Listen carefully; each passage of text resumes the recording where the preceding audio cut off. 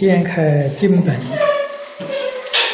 第七面啊，第七面最后一个字看起，如此信矣，则娑婆即自心所感之慧，而自心慧理应业离，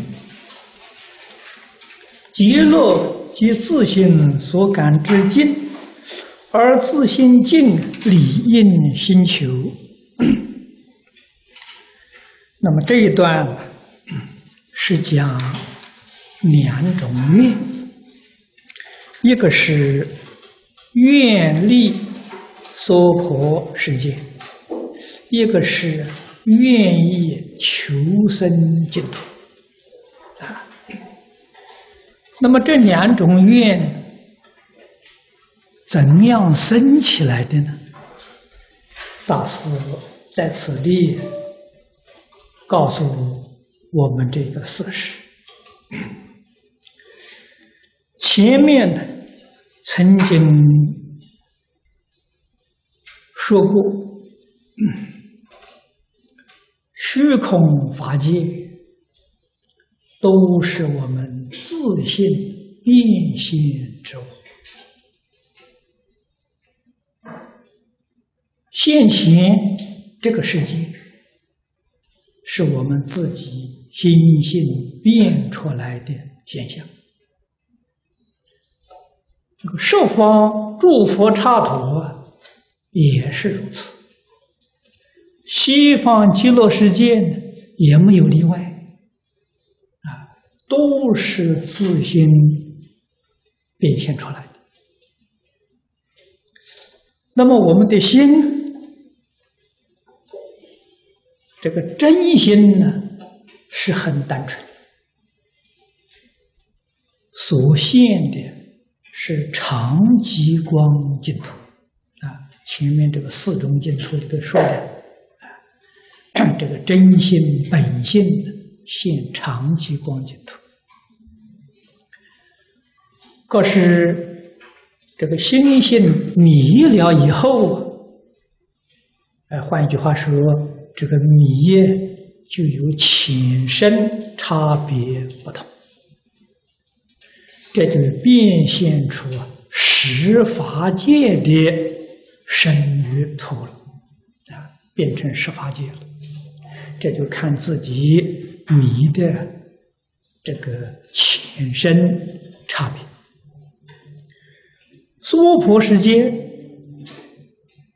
是我们迷心妄心所现的境界。那么极乐世界呢，是我们真心清净心所现的境界。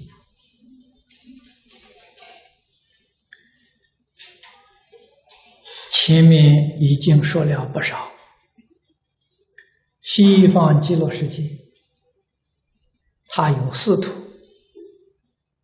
每一土都有九品，全都是待业往生啊，就是十报庄严图，华藏会上等觉菩萨。像文殊、普贤这些人在华严经上，我们读到他们都发愿求生净土啊。这些人带了一品生相无名，也是叫代业啊，通通都是代业往生的，只是去往生的人带的业习。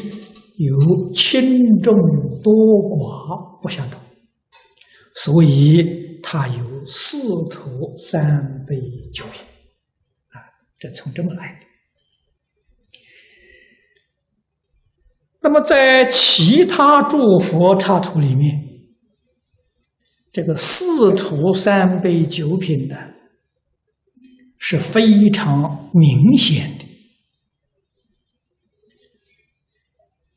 每一个这个阶层呢，与另一个阶层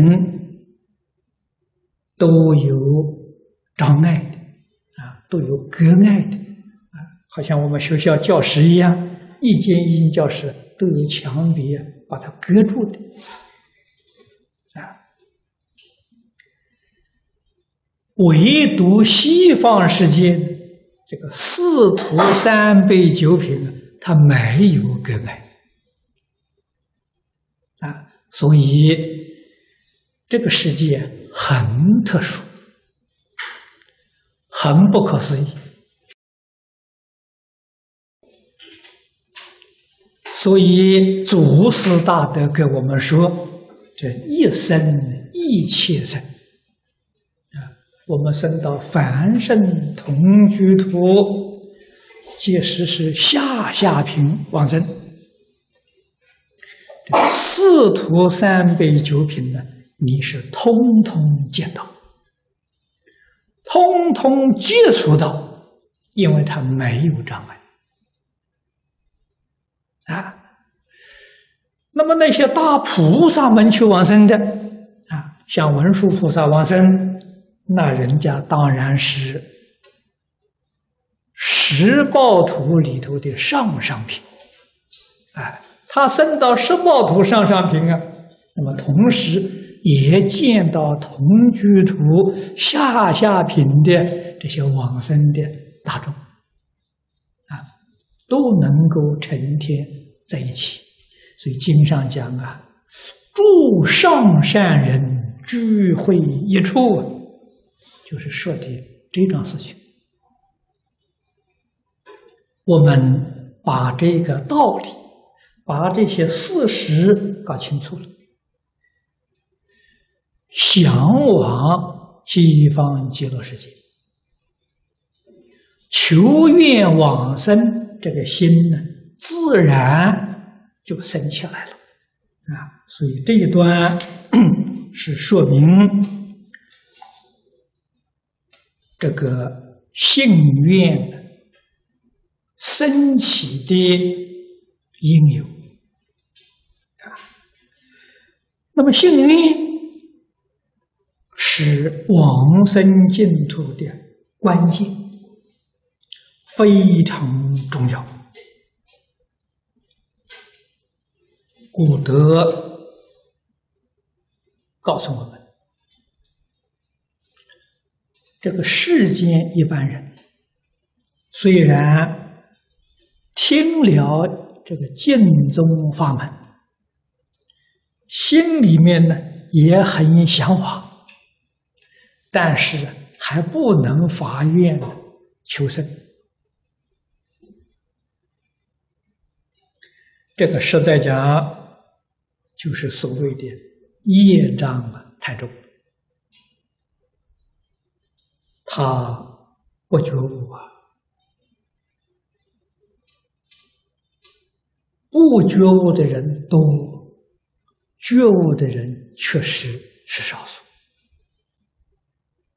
这个真正觉悟的人，第一个要知道人生确实是苦，不但人生苦。六道都苦，佛在大小乘经典都把这个事实详细的为我们说出来。他的结论是三界痛苦啊，只不过是天人用比较的方法来说呢。是乐多苦少。那么我们想想，我们今天在人道这几十年当中，冷静想一想呢，实实在在是乐少啊，苦多啊，这是我们的现况啊。将来情形怎么样呢？将来可能更苦啊！怎么会知道呢？从我们现在噪音上来观察，啊，这个噪音呢，所以声、口、意三业，声是我们的造作，口是我们的言语，意就是念头。我们身语意三业的造作，到底是造的善多还是恶多呢？如果我们造作的恶多于善，那么来生的果报啊一定是苦多于乐。啊这个不迷信，也不是骗人的，所以自己冷静的思维就知道厉害啊！所以第一要觉悟人生之苦，第二要觉悟人生是空。这个空，一般人呢，到临终的时候。这一口气要断了，这个时候才知道啊，一场空啊！现在为什么不知道呢？啊，其实聪明人、容易觉悟的人，他知道，在每一天晚上睡觉，眼睛一闭。跟死有什么两样的？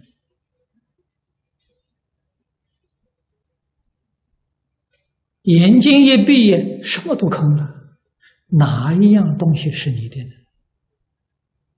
真的，连身体都不是啊，何况身外之物啊？这个要觉悟。你果然觉悟了啊，真的会开智慧，会得自在啊。为什么呢？得时这个念头啊就轻了，啊就看清了，啊损人利己的事情，自然就不愿意做了，啊也就不会做了。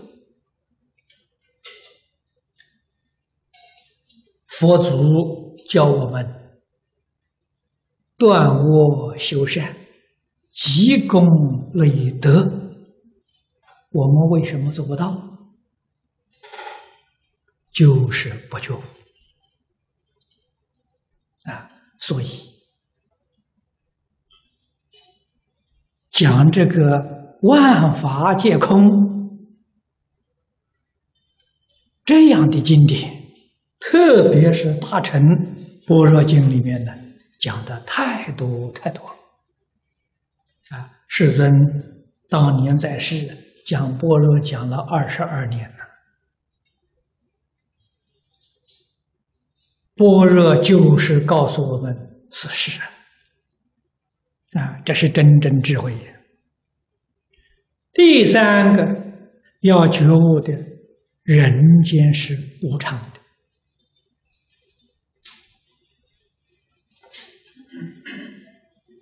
不但这个世间的环境是无常的，从大的地方来看，所以沧海桑田。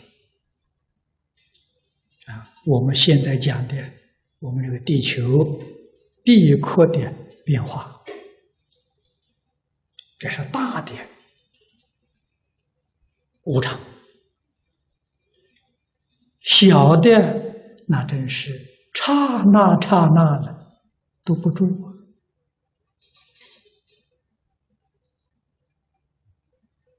物质环境如是，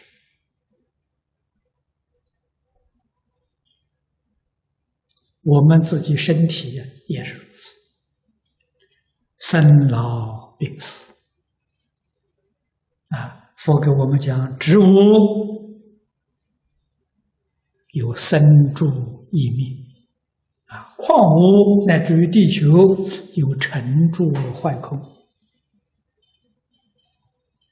那么这些事实，我们不是不知道，而是在这事实里面呢，真的叫麻木不仁啊！真正觉悟的人，他是时时刻刻有高度的决心。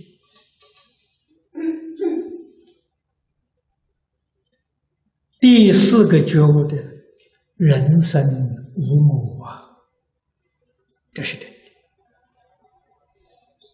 啊！所有一切的罪业，都是从我执里面的发生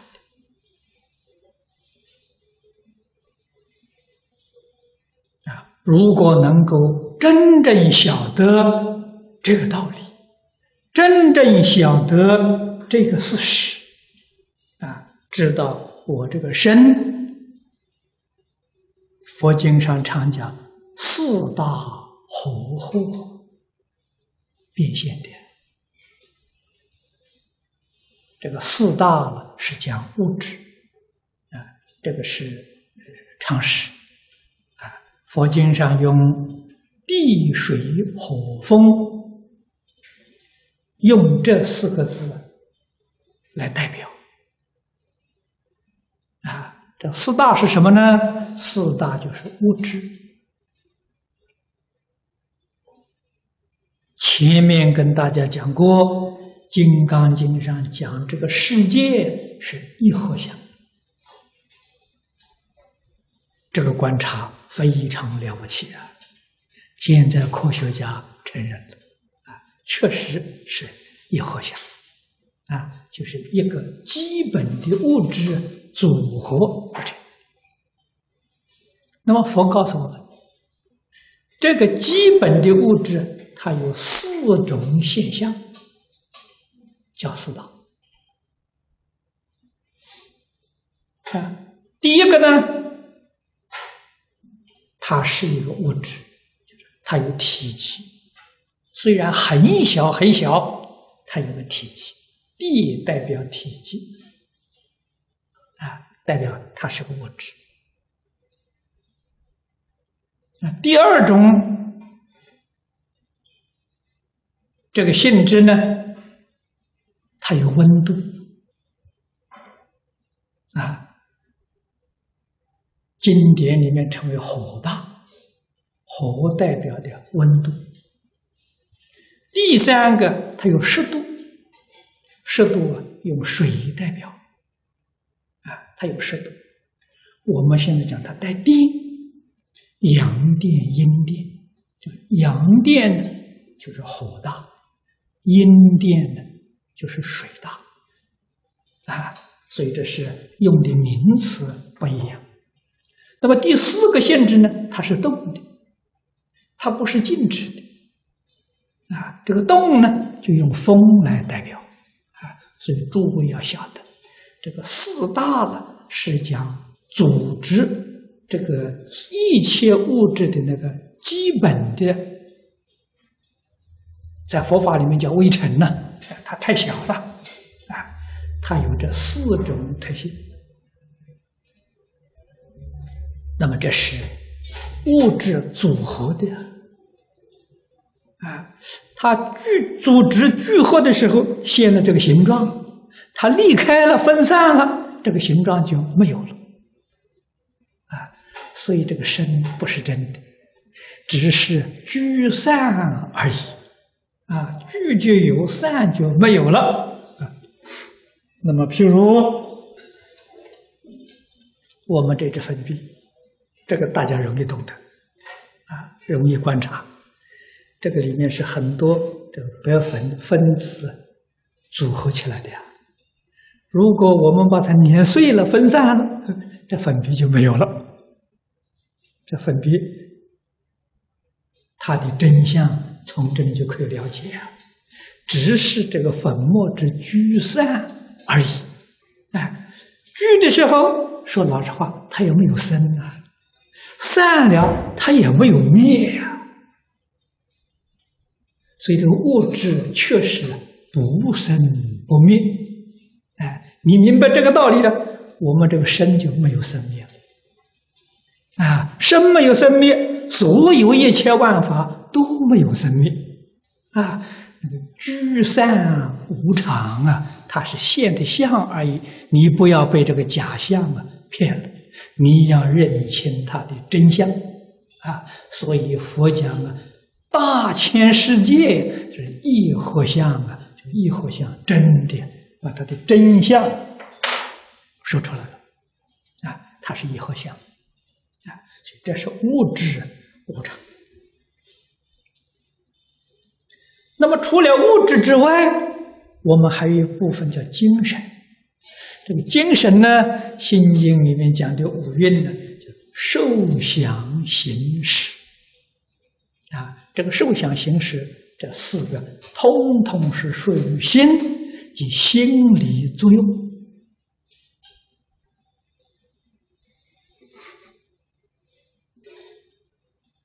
啊，这个呢，也是无常的啊。我们这个心里面的念头啊，一个念头起，一个念头灭啊，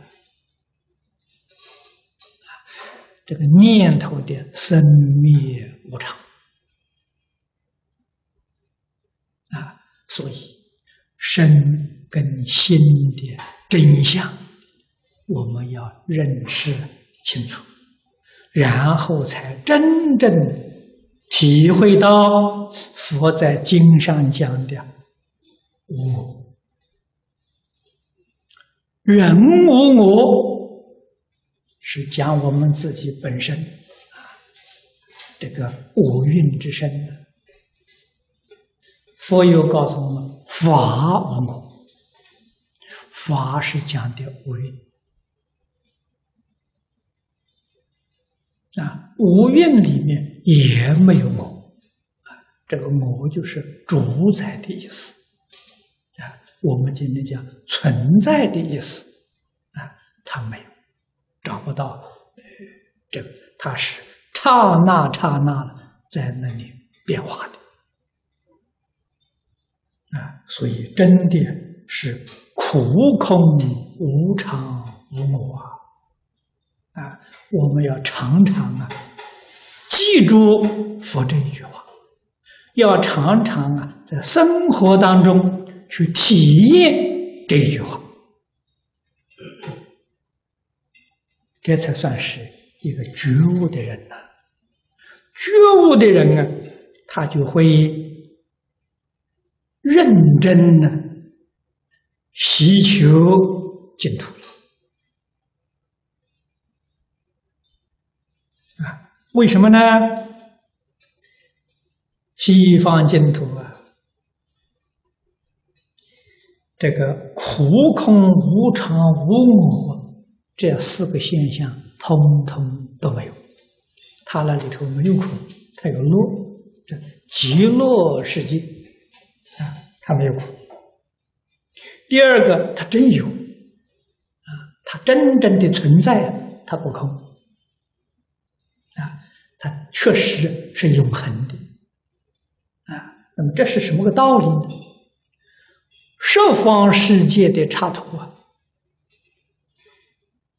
是八十的相分啊。这个在唯识里面，懂得一点唯识的呢，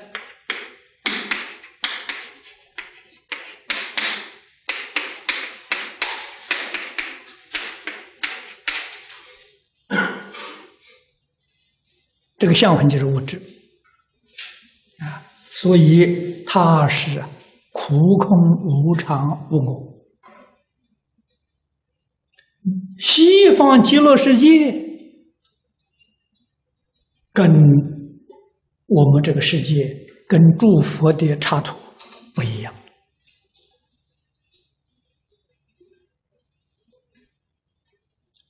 它是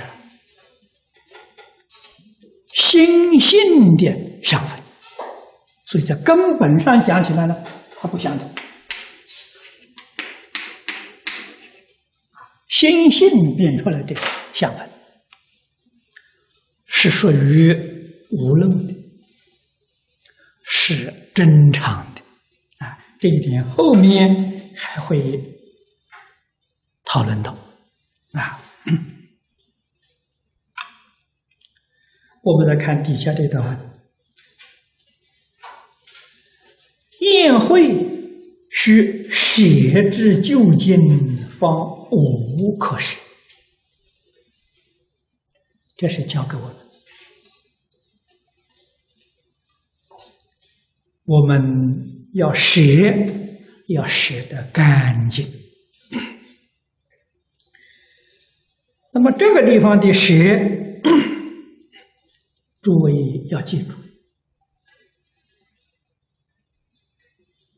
不是叫你从今以后什么事都不要做了，我通通放下了啊，我专心念佛了。哎，那你就把意思完全会错了。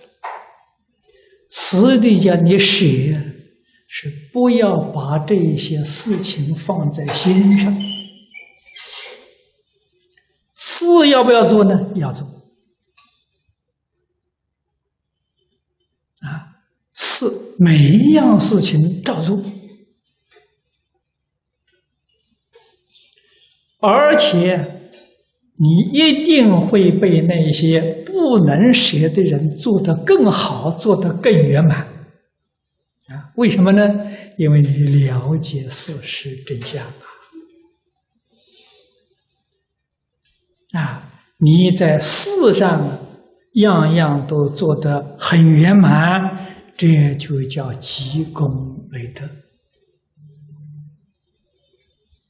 啊，这才叫真修行啊！啊，决定不放在心上，心里面什么都没有，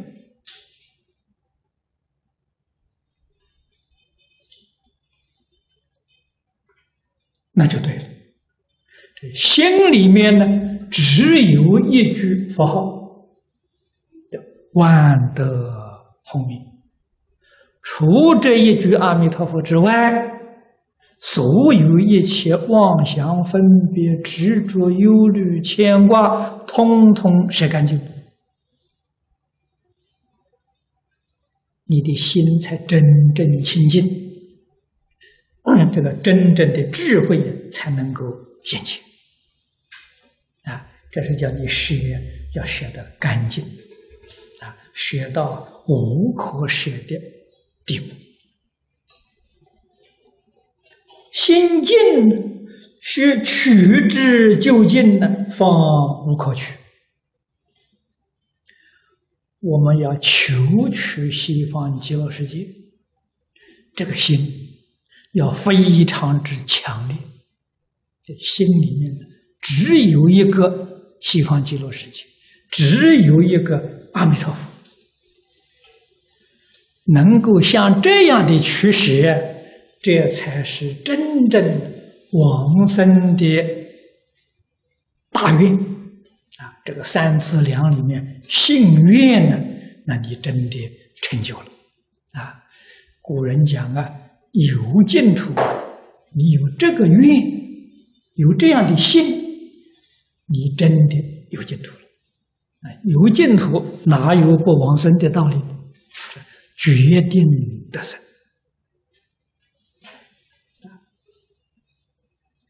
下面引用啊，这个《妙宗钞》里面一句话：“故妙宗云，取舍若急，与不取不舍，亦非也。”一者，妙宗钞啊，是智者大师做的《观无量寿经》书啊，这个书呢是是智者大师做的，这个钞啊是四明尊者啊他做的，就是注解智者大师的注字。那么这是《观无量寿经》一个很有名的住进啊。那么他是属于天台宗的啊。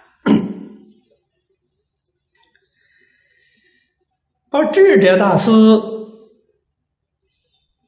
临终的时候，他是念佛往生净土的。那么智者大师修净土跟我们不一样，我们是根据《无量寿经》跟《阿弥陀经》采取的是持名念佛，而智者大师。他是修的观想念佛啊，他是修十六观往生的啊。那么四种念佛，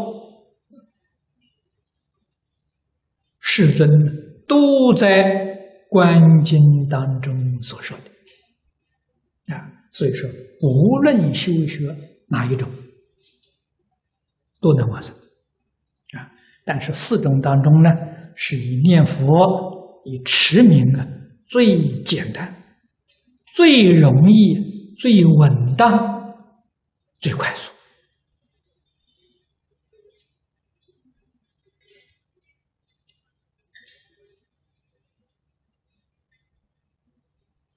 大师这一段话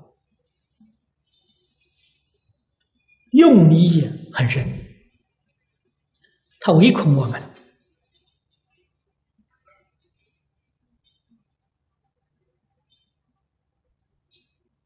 这个佛为我们所说的会错了意思，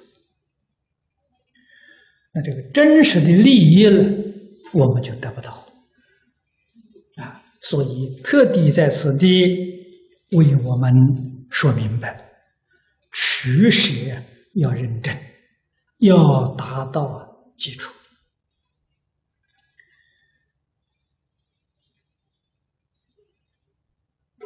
妙宗钞里面 这个问义是偏在理论这一方面，对于四修啊疏忽了，这是错误。答处。是即四大理，理四是一，不是二啊。所以佛说，佛法在世间不坏世间法啊，决定不破坏世间法。只有圆满成就世间法，那才叫真正的佛法。我们看诸佛菩萨应化在我们这个世界，不但他所说的是最好的教诲，他所做的实在讲呢，都是我们世间人的榜样。这个教学的时候，不仅是言教。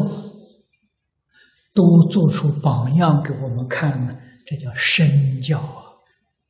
特别显示在《华严经》，《华严经》幕后这个五十三参这是佛菩萨示现在我们这个社会各行各业男女老少，你看他们怎么生活啊？他们如何待人接物？这些人都是佛菩萨再来那是我们一个非常好的榜样。那么我们发心修行，最重要的老实念佛啊，实在讲。无论是男女老少，无论是贵贱贤愚，只要能做到老实念佛四个字就决定往生啊，就怕的是不老实啊。那么这一段讲的取舍到极处，这就是真正老实人啊，真正老实的样子啊。我们求生净土。要从事实上做起，这个样子才真正叫稳当。不可以治理非事啊！特别是这个修行方法，对于什么事都不妨碍啊。其他的法门，有的时候修学呢。对于这个世间琐碎事情呢，有时候还有障碍啊。你比如像这个修禅啊、参禅的人，他每一天一定要打坐啊。他坐在那个地方几个小时，那他不能工作，也不能有人打搅他。这个对于事就有妨碍。啊，当然，这个是禅宗修学初学的人有有障碍。那个禅宗里面高级的修行，那就没有障碍了。啊，高级的修行，每一天参禅，他不需要打坐。啊，那个《华严经》里面，玉香长者就是学禅的。啊。他那个呃，每一天打坐到哪里去打坐呢？到市场啊，最繁华、最热闹的地方。哎，那么他那个打坐，这个坐禅呢，你也不要误会了，盘腿面壁坐在那里，那不叫人笑话。诸位要，念了六祖坛经就明白了。六祖想做想所说的坐禅，不是叫你真的在那坐。坐是什么意思？坐是不动，人坐在那个地方还很安定不动，它是比喻心不动就叫坐。啊，你人坐在那里，心胡思乱想，那个不叫坐。啊，坐是讲心不动。啊。是不动心的，是这个意思啊。所以他讲坐禅，是在这个市场里面，叫玉香长者所表现的啊，到处去游，到处去逛啊，什么都去看，啊，什么都去听。啊人家是这个参禅法啊，所以善财童子参访他，到市场里面去找他啊，他正在那里逛市场啊，那就是他做功夫，就是他参禅啊。他逛市场，他的心啊如如不动，这就是定啊，这个就是坐。这个市场里面所有的，他清清楚楚、明明白白，这是会啊。所以这个逛市场呢，是定慧等修啊。人家在修行啊，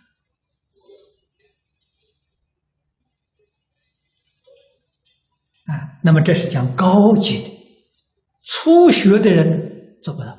初学的人心本来就乱了，再看到这个花花世界，那怎么能定得下来的？不如念佛的方法好。啊，念佛心里面守住这一句佛号，所以它不妨碍工作。任何工作都可以照做，佛号可以不间断。啊那么这个地方，我们也要讲到初学，我们功夫还不到家了。在功夫不到家的时候，初学的时候，凡是要用思考的这个事情，我们暂时把佛号放下，啊，专心去工作，我们的工作会做好。事情做完之后呢，佛号就提起来，这样就对了。啊，如果这个工作不需要思考的，那你一面做工作是一面可以念佛。啊，像前面讲的这个呃，衡州的王打铁，这个铁匠啊，他打铁这个不妨碍念佛啊。他打一锤念一声佛号可以，啊，这个不要用思考的，对这种工作行，啊，类似这种工作都可以，所以我们一定呢要在事实上下手，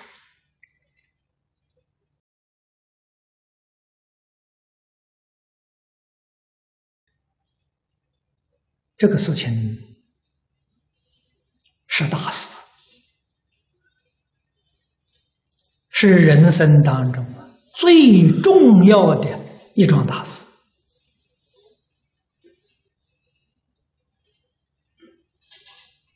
古人所说：“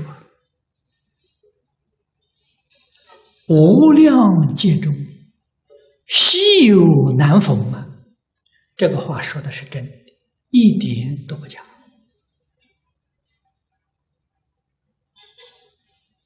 所以。不能把它看轻，要认真，要努力。在这个时代，诸位要晓得，师道已经不存在了。要想靠老师、督促、同参道友互相提携。这个缘分呢，几乎没有了。所以在这个时代，完全要靠自己发心，要靠自己警觉、认真、努力的修学。工作再繁忙，也要抽出一点时间。专心念佛啊，在早晚呢，我早一点起来呀，早半个钟点起来呀，念半个钟念佛。晚上少睡半个钟点呢，好好的念半个钟点佛，就认真的去做啊。在平常时间得空就念佛啊，不要想其他的事情，其他的事情都是假的，都是空的。啊，不值得挂在心上。啊，一心一意求生净土，这就对了。下面一段说：是不从事取舍，但上不取不舍，即至理废事。既废于事，理也不远。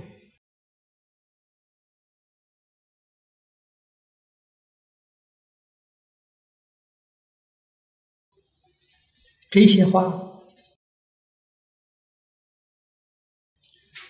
都是大事，破除一些修净土人的偏见。误会，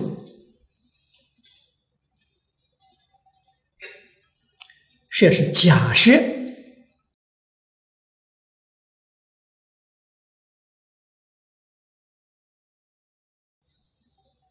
因为在中国佛教，禅宗提倡说。不立文字，直指人心啊！所以说不着相，我们这个净土宗又要舍又要取，你着相了。没错，这个着相呢，就是事啊；不着相啊，是理呀。不从事取舍，好，我们也不取也不舍。试问着了没有呢？还是着，着了不取不舍，哪有不着呢？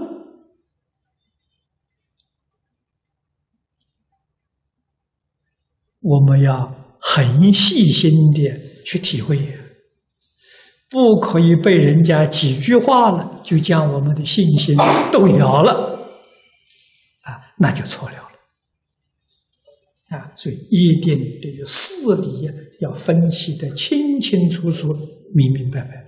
我们今天讲不着相，做不到。那个参禅的人，他有没有做到？他也没做到。啊，所以那叫口头禅呐。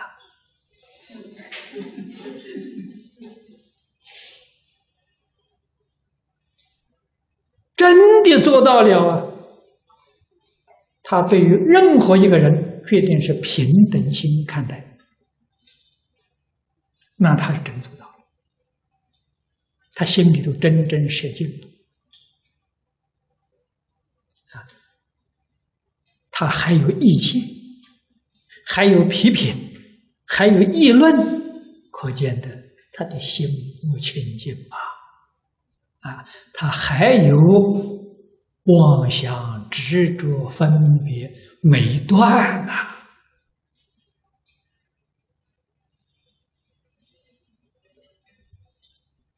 所以但上至从上，不屈不舍，是在讲他已经着了空了。莲池大师说的好：“静中的修学，做事能够念念相续，这个人可以待业往生呐。他真的能够脱离三界，得生净土。”如果要治理，偏在这个理论上，学去四修，自己心地并没有开悟，并没有明心见性，那么换一句话说，他将来还是要搞六道轮回，那就苦了。啊，不能明心见性的。就不能超越六道，这个明心见性谈何容易啊！啊，这是这个这个莲池大师教导我们啊，我们从事上下手决定正确。何况维大师后头又说：“即治理废事，既废于事，理不远。”这个说的是真好啊！啊，因为四跟理是一，不是二啊！啊，偏在一边都是错误的啊！偏在一边呢，古德教给我们：宁可偏在四，不能偏在理啊！换句话说，宁可以执着有，不能执着空。执着空就坏了。若大全是皆理，大是通达，是明了。如果你真正明白了，啊，事原来就是理呀。这取一节理，舍一节理。这个取舍多自在，取舍多潇洒呢？都是心性啊！一取一舍，无非法界，故此心而名缘也。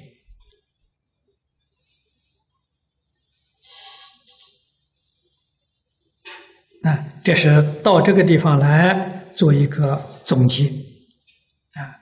念佛，我们舍娑婆世界，取西方极乐世界，这个一取一舍，正是大成正心。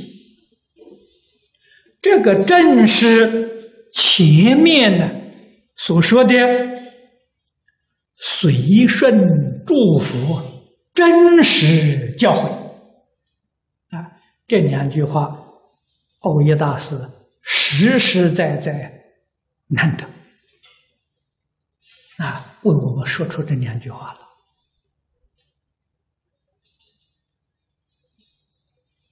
这个要不是真正过来人，这两句话说不出来呀。所以我们从这个地方发起求生的大愿啊，这个是这个是呃三字两啊，信愿啊，愿就说到此地。下面呢，这是讲行，信愿行啊，第三个往生的条件。言智持名号，一心不乱者，名以昭德，德不可思议，名号也不可思议。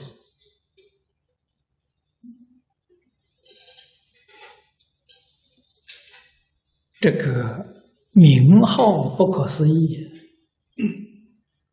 我们常听说。也常在这个晋宗的书本里面呢看到，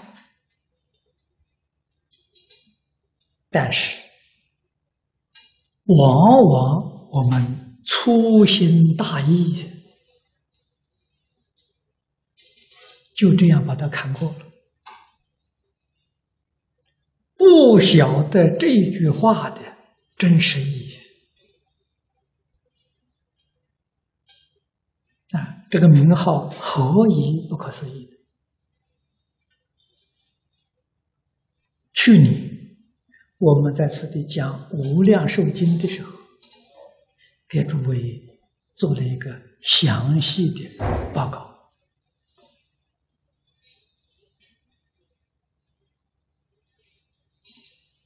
黄念祖老居士给《无量寿经》呢。做了一个注解，注子里面引用隋唐啊大德对于晋宗的著述啊很多，这个也是不可思议的感应啊！他在那个环境里面怎么会找到这么多参考书？那么，根据隋唐时候的高僧大德，他们对释迦牟尼佛四十九年呢所说的一切经做了一个评论。佛教四十九年讲的这么多经呢，哪一个经第一呢？啊，几乎每一个宗派的祖师大德了，都公认华严是第一。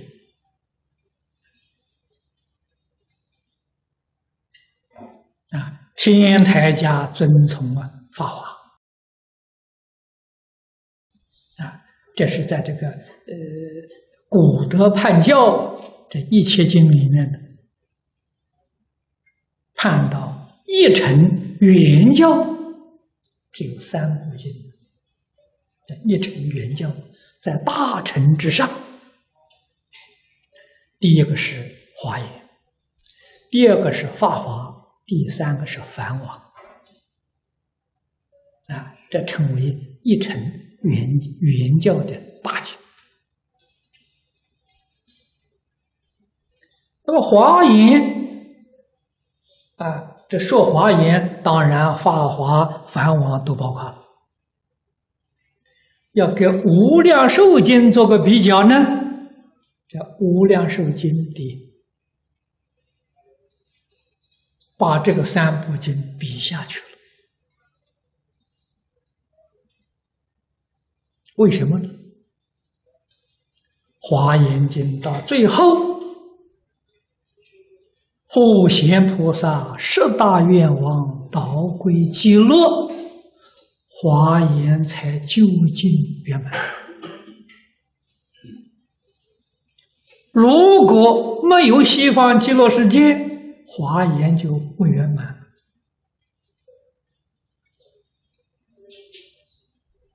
那么由此可知，《无量寿经》是华严经的归属啊。是《华严经》的总结。二位大师前面说的好，我们念过了。华严奥藏，法华密髓呀，这是华严法华的精华了。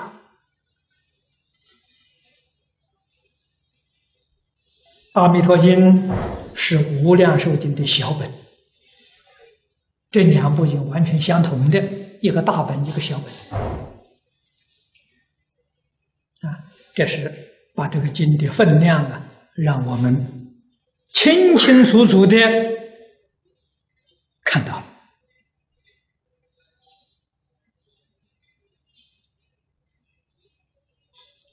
这是古大德为我们指点出来的。那么，我们根据这个模式，再仔细的往里头深入的观察，我们讲经采取的是下联居的汇集本。夏老居士讲全经分成了四十八品，这四十八品里面哪一个第一？我们照样这个方式来找啊，啊，那当然是第六品是第一，第六品是阿弥陀佛四十八愿啊，这是经中的中心的。你看一部无量寿经，总不出四十八愿啊，释迦牟尼佛不管怎么讲。都是把四十八愿详细解释而已，不违背四十八愿。是四十八愿的是全经的中心，是全经的精华，最重要的一部分。心中之经呐。这四十八愿里头有四十八条，哪一条又是第一呢？这个不必要我们说了。古德曾经说过，第十八愿第一。啊，这是真正寻到了最高峰。第四十八愿，四十八愿说的是什么呢？四十八愿就是讲生念必生。啊，名号功德不可思议，圆圆满满的显示出来，这样我们才恍然大悟啊！这一句佛号啊，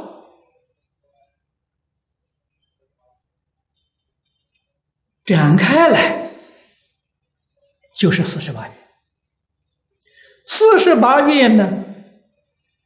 归总呢，就一句名号。那么四十八愿呢，展开来呢，那就是无量寿经。无量寿经再要扩大呢，就是大方广佛华严经。华严经再要扩大详细一点，就是大藏经。诸位，明了了吗？所以这一句阿弥陀佛，是释迦牟尼佛四十九年所说一切经法的总纲领。你念这一句名号，等于说佛四十九年所说的一切经、一切法门，你通通都念到了，一个也没漏掉。名号功德不可思议，我们念佛的人呢，不晓得名号功德，晓得名号功德，这个念的感应不一样。啊，为什么呢？他心专，他心不怀疑。不知道的人念的一阿弥陀佛，还想到哎，《金刚经》还不错啊，《法华经》也不错啊，他还在胡思乱想。所以他的功力效果就打折扣了。啊，真正明白这个道理啊，他一点怀疑都没有，死心塌地念这句佛号，他知道。我这句佛号就包括了一切经，包括了无量无边的法门。我一修一切修，就通通都修。啊，他还有什么怀疑？啊，事实是不是如此呢？事实确实如此。啊，一修一切修啊。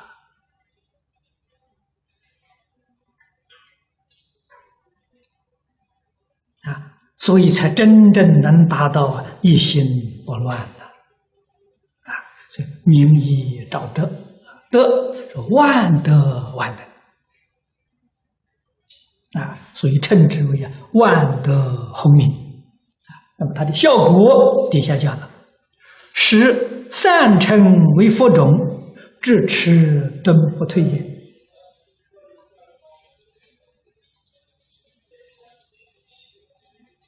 这个两句话也非常重要。善持是呢，无论你是信或者不信，你是有心还是无心，啊，念这一句“南无阿弥陀佛”或者念“阿弥陀佛”，啊，无论你是有心无心，啊，你是信还是不信，啊，都变成了将来往生西方极乐世界的种子。啊，念佛生息的种子啊！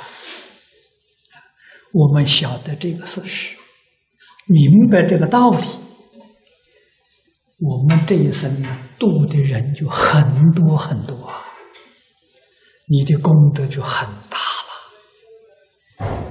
哎，你没度他，哎，他看到你念了一声阿弥陀佛，你就度了他，你就把这个种子给他种下了。啊，所以我过去。在台湾办大专佛学讲座的时候，我教给同学们啊，自己要认真的念佛，要普度众生。怎么个度法呢？你在学校里手上拿一处念珠就行了。你那个同学一看到你，哎，阿弥陀佛，你看他。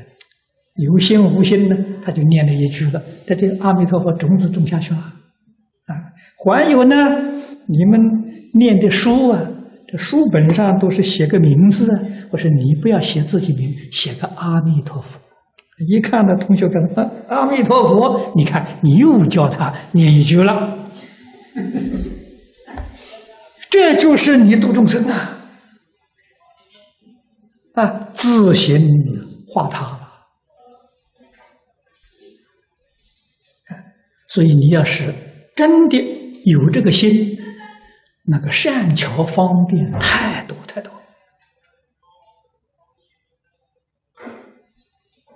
啊！随时随地劝人念佛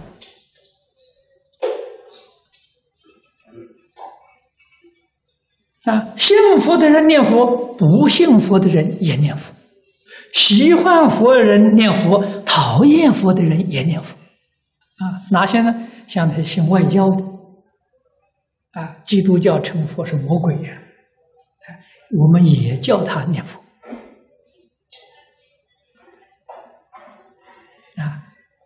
都是佛种啊，种子都下去了。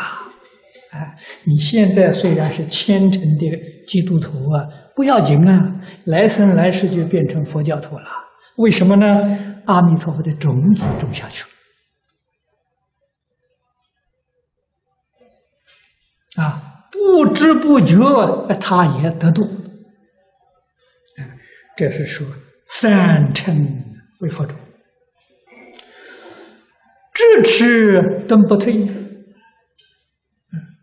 智就是智持名号，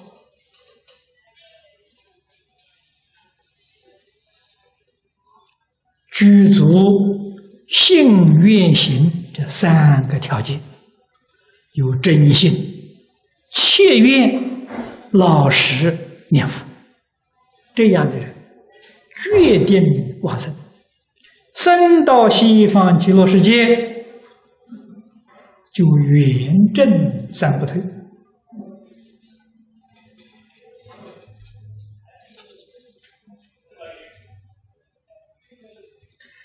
然诸经是净土行，千万别千差，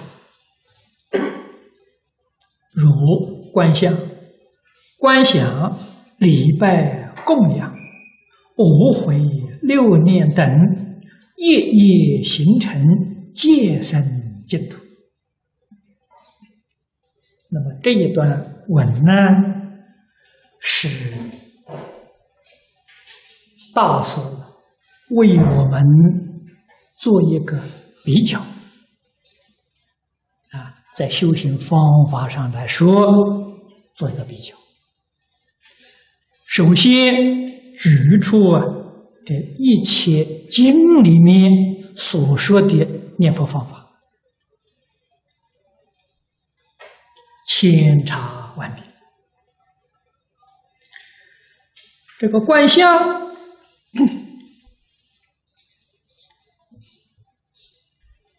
像波州。《三昧经》里面所讲的是观相的念佛方法啊，这个在十六观里头也有啊。我们特别提出呢，《波州三昧经》，因为十六观经里面呢，讲观想讲的最多啊。这个十六条里面讲观想占了十二条啊。所以它是以观想为主啊，第十三呢才是观相啊。这个观想呢，就是十六观经，就是观无量寿佛经。那么它的注解前面介绍的天台宗的妙宗钞啊，智者大师注的啊，注的是很好。那么还有一个注解，善导大师注的，他另外一个名字叫四帖书，观经四帖书，啊，这个是这个这个这个善导大师，在台湾这两种本子都很流行。啊，都很流行。嗯，那么这两种本子呢，我都讲过，啊，都讲过。而我最得受用的是善导大师的主啊，善导大师的是这个《观经四帖书》啊，在《观无量寿经》注解之中啊。古今注解之中，它的价值可以跟《弥陀要解》在《弥陀经》所有注解里面的这个地位相比美，的确是这个这个这个观经第一注解啊，许许多多的见地是古来祖师大德。没有说过的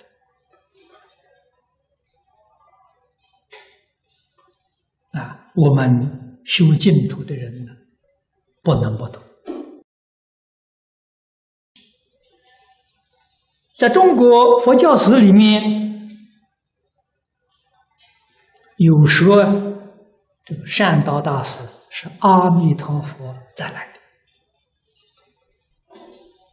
哎，这个黄老居士这个《无量寿经注解》里面也提到，如果是阿弥陀佛再来。住这一部经呢，那么换一句话说，那个注字就是阿弥陀佛自己为我们说法了，这是值得我们重视的。这个礼拜、供养、无悔呀，都可以用《华严经》做一个例子。华严经普贤行愿品，十大愿望，礼敬诸佛，称赞如来，这个就属于礼拜。广修供养啊，这就是此地的供养。那个无悔呀，也不例外啊。无悔是讲的忏悔、劝请、随喜、回向、发愿，这个五种方法啊，都可以说是念佛的方法。那么除忏悔之外，后面的这个劝请、随喜。回向发愿，这四种里头都有忏悔的意思。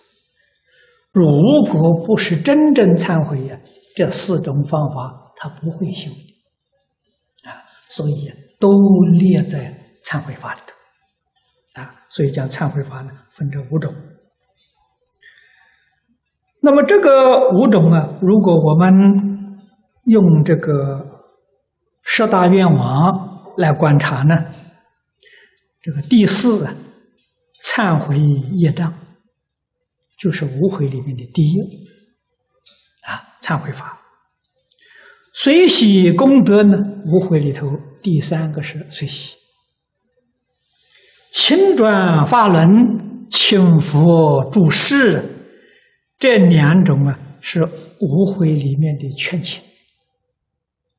常随佛学。恒顺众生呢，这个两愿呢是发愿，后面普界回向啊是无悔第四的回向，可见的普贤菩萨的自己修的，教人修的，真的是修念佛法门啊，目标啊是求生西方。极乐世界。除这个之外，还有六念。这个是佛在许多经上啊都曾经说过的。六念前面三种啊是念佛、念法、念僧，就是念三宝。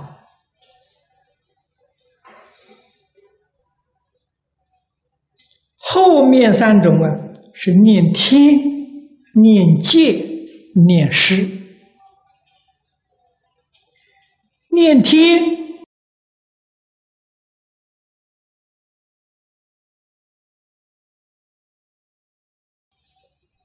升天要有升天的条件啊，天确实有。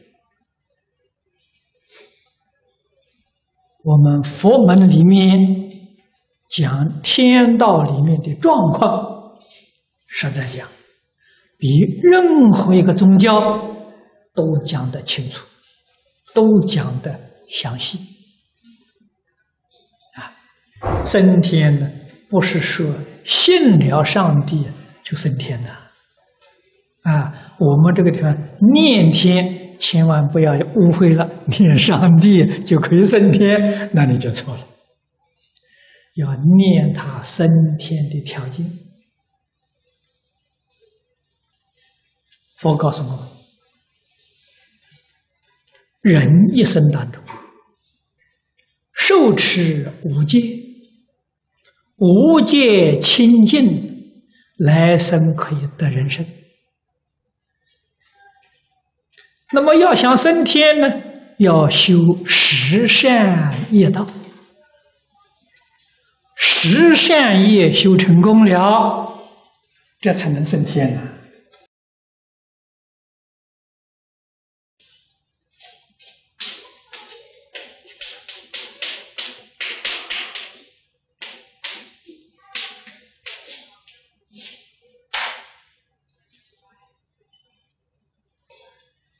要念十善，如果只有修十善，你所生的这个天不高啊，生在哪里呢？生在欲界底下的两层啊，就是四王天、忉利天，只能生生到这个地方。为什么呢？往上去那个条件就很高了，啊，往上去要修清净心，要修禅定，啊，定就是清净心，要修四无量心，这个四无量心是慈悲喜舍，啊，所以你能够修定，啊，修十善。修定、修慈悲喜舍，你才有能力升到啊色界天啊欲界上面的四层，色界十八层，你才能到那里去啊。所以念天之德啊，念天之德啊。效法诸天的慈悲喜舍，这个是念天真正的意思。念戒呢，就是佛为我们制定的戒律，五戒、八戒、十戒，乃至佛在。一切经典对我们的教诫啊，对我们的教诲，都在这个戒的范围之内啊。念戒，它的功德帮助我们清净三业，使我们身语意三业清净。最后啊，念诗，诗是布施，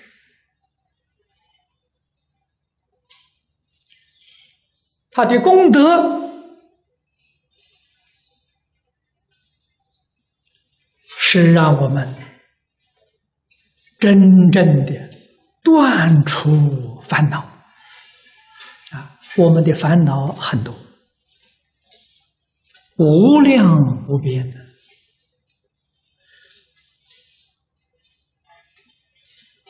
佛菩萨很慈悲，在讲解的时候，将无量的烦恼啊，把它归纳归类，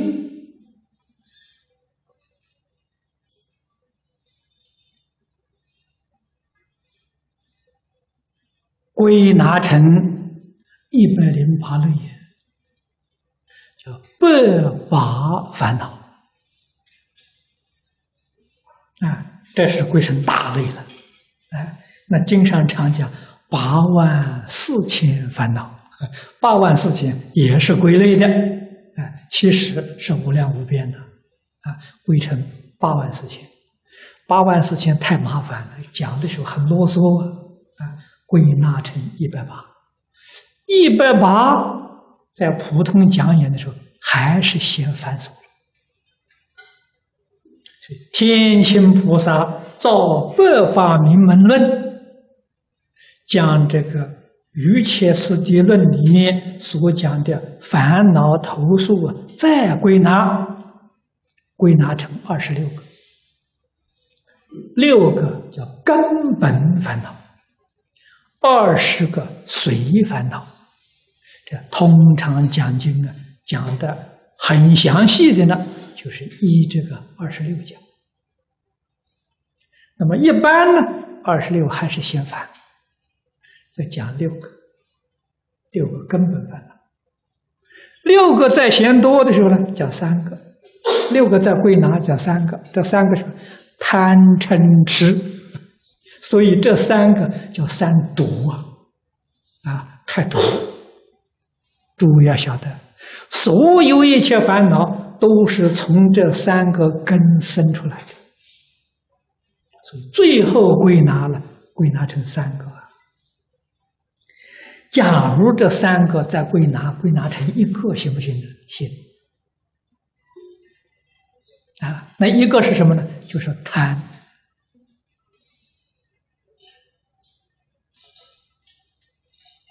所以六度里头啊，第一个修布施，布施度什么呢？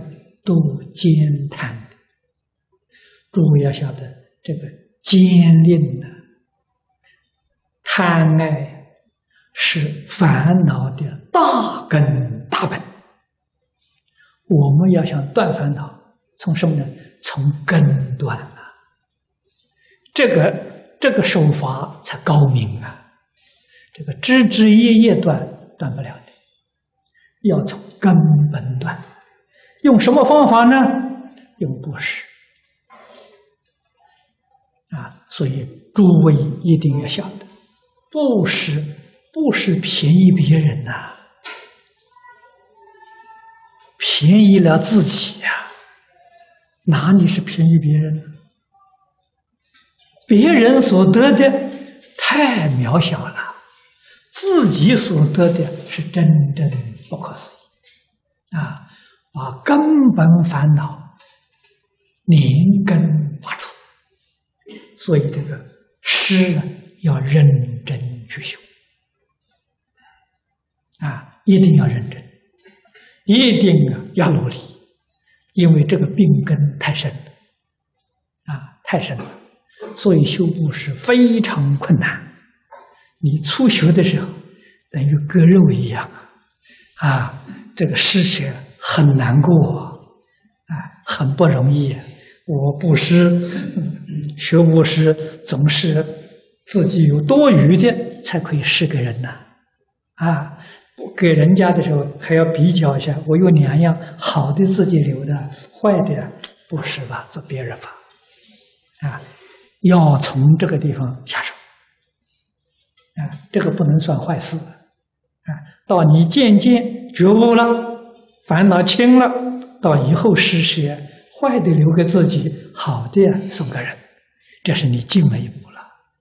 更进一步的时候呢，人家需要，我虽然也很需要，我可以给爱先帮助他，啊，慢慢的时候，把你这个烦恼根逐渐逐渐去掉。这个是三界六道生死根本啊，所以要常常念住。那么布施不要怕自己没有啊。一般人为什么不肯施呢？啊，他心里头啊有疑，有恐怖啊，怕的是我施施了之后。我自己怎么办？他怕担心这个，所以他不敢布施。他也晓得布施好，嗯，不敢，有疑有虑，对于事实的真相不了解，对于道理不明白，才有这些顾虑。其实，佛跟我们讲的很清楚、很明白。我们不敢相信的这个难关在此地呀！我们今天以赚钱来说吧，财布施，我们的钱赚的好辛苦啊，生活很艰难，哪有那么轻易就布施掉了？啊，纵然我们做。你的家亲眷属、周边的人都说你学佛迷了，学傻了。学佛怎么可以这么学法？他们说的是有没有道理呢？也有一点道理，不能说没有道理，但是也不是完全有道理啊。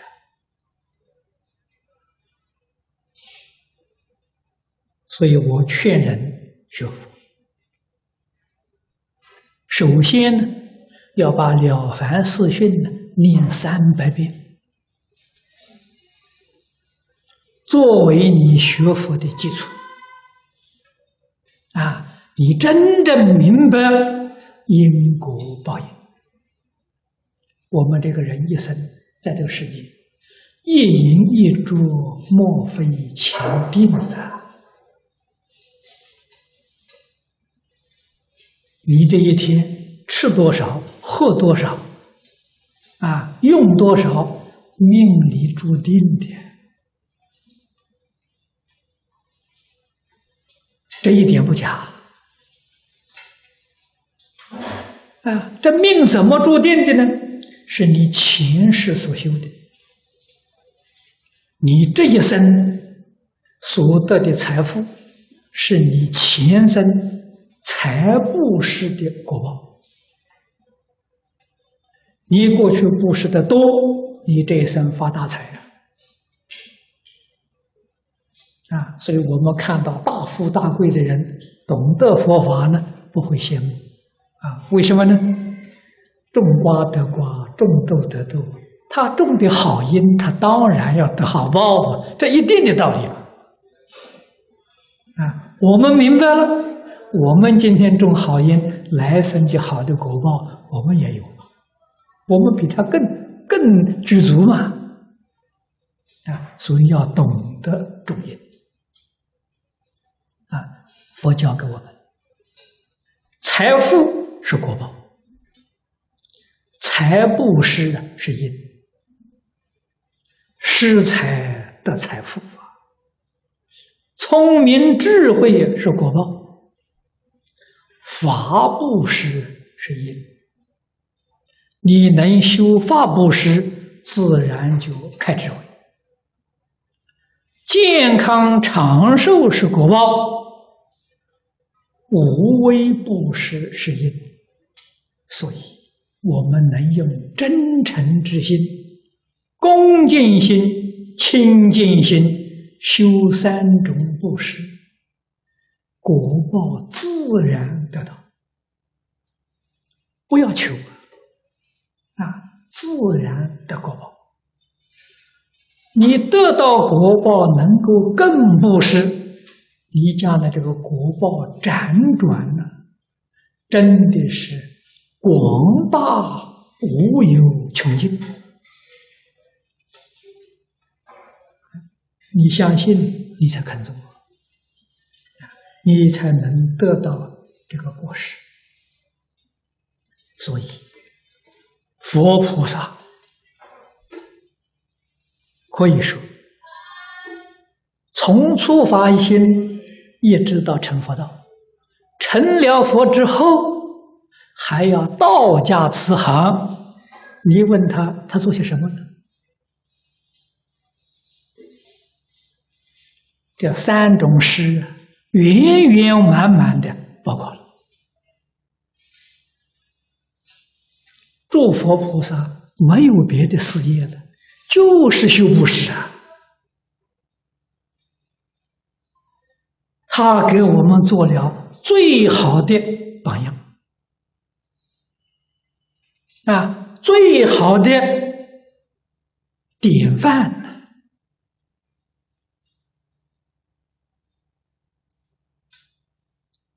佛菩萨距离我们远了啊！晚近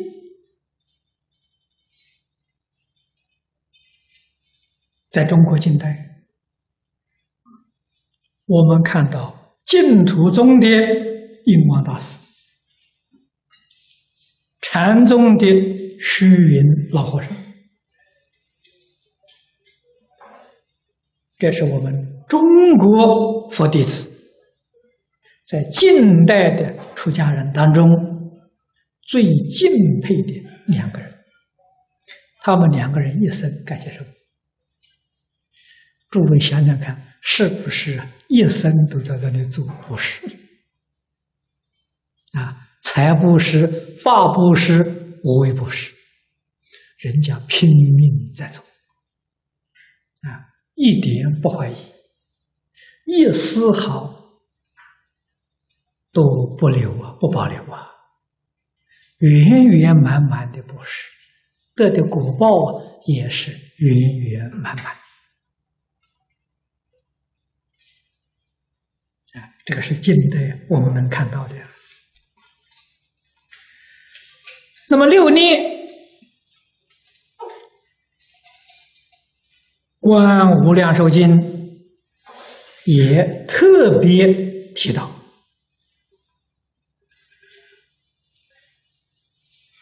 观经里面说的很清楚，它是有三种人。应当啊得生净土。